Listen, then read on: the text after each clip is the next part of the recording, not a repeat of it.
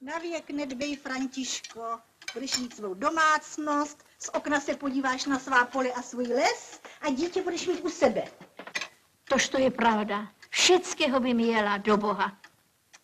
Ale děvča, daj si pozor na rozínu, co tam už tolik roků na gruntě slouží. Leda, co se o ní a hospodářovi vykládá. Nebylo by k dobrému, kdyby u podešví zostala, navykla si tam za ty dlouhé roky gazdovat. A tady máme naši nevěstu. Ztratíme Františku. Škoda. Ale co na plat? Víš, že nespíchneš, až budeš gazděnu. Takový majetek, pane. Takový grunt, jako je podešvův.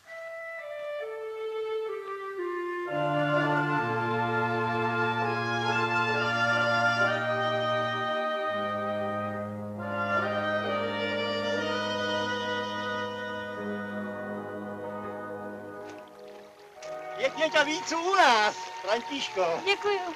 Vítám vás tež.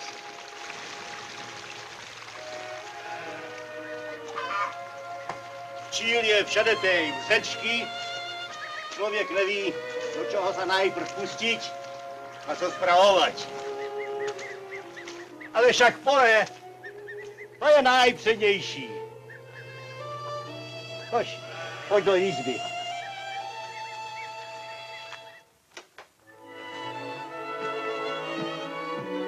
Tady budeš, Františo, všecko to bude jinší.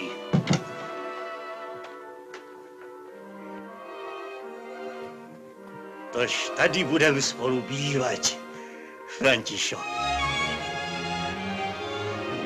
Už jsem se nemohl dočkat, až tu budu mět, děvča.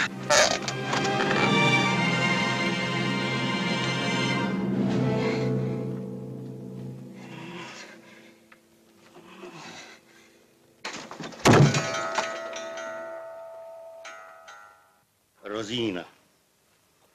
Víš, to je Rozína, dívka. Je tu už jedenáct roků. Už za nebožičky ženy tu byla. Je dělná, poctivá. Je to trochu mrzut, ale tož musí se jí něco odpustit.